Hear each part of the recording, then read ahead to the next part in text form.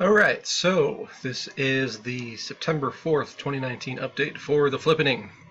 So if we look at, if we look, we're down to 133,485 packs.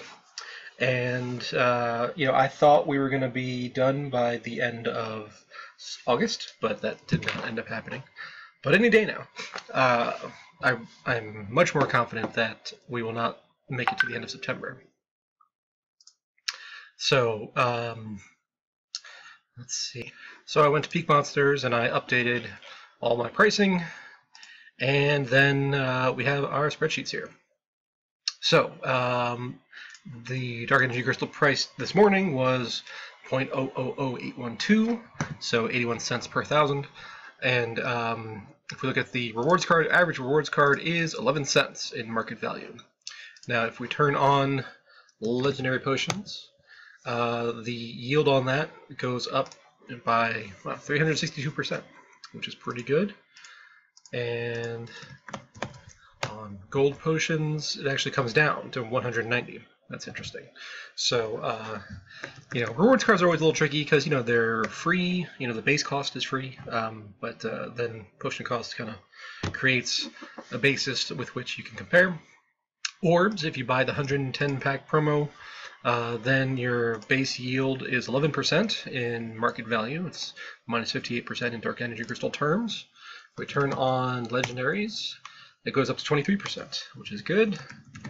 And goes up again to 42% if we have legendary and gold potions. So that's a solid buy if you're doing orbs.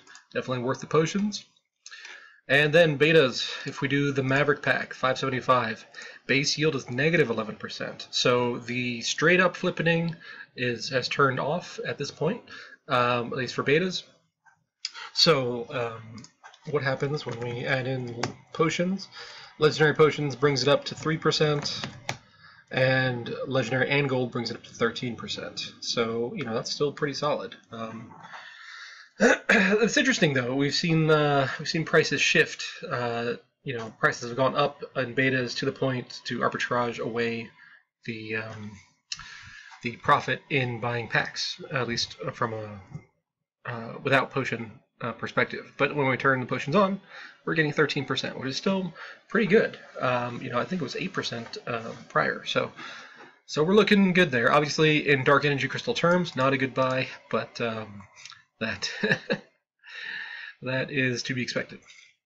So yeah, that is the current status. And um, you know, I think I was talking with a friend of mine who's thinking about you know investing in Splinterlands, and uh, you know, so there's two hundred and sixty-seven thousand dollars worth of packs left. You know, if I had the money, I would you know, I'd buy them all and set them all up on Heron's Unlimited accounts. And as you see my other video about uh, the season results for that, and uh, I think it's just it's just the best deal going, uh, especially with you know we've seen Bitcoin kind of bouncing around between nine thousand and eleven thousand, and uh, I think we will see some uh, some downtrend uh, in that. I personally I think we're going to break the 9000 support or 9400 whatever it is and we're going to go see we're to see prices more like 8000 7500 and at that point i'm a, I'm a bitcoin buyer but uh, not until then.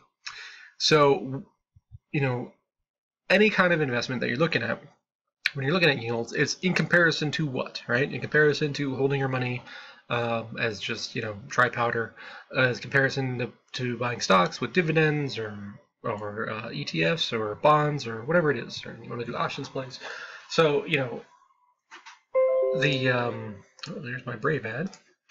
Uh, so the if we're just looking at betas and we're looking at 13%, you know, that's uh, that's an immediate return uh, in market value, and then we have cash flow on top of that. So if if you see my other video uh, on the on the rental income you know, in the Heron's accounts, I'm making 25%, and that's even with using the higher price gold uh, cards. So if I have 13% plus 25% annual, um, then, you know, where are you going to beat that? And then at that point, the only speculation is, will Splinterlands, you know, disappear and die, or will it continue to be a game and gain in popularity? And that's really the fundamental speculation.